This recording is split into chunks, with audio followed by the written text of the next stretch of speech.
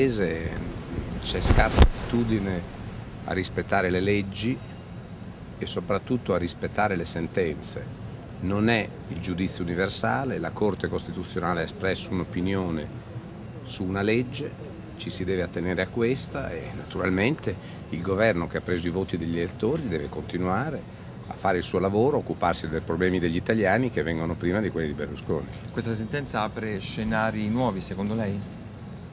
Non è il giudizio universale, l'ho detto e lo ripeto oggi, la sentenza poteva essere questa o quella opposta, bisogna rispettarla, punto e basta. Il governo è stato legittimato dagli elettori, vada avanti, governi e parli dei problemi degli italiani che vengono prima di quelli di Berlusconi.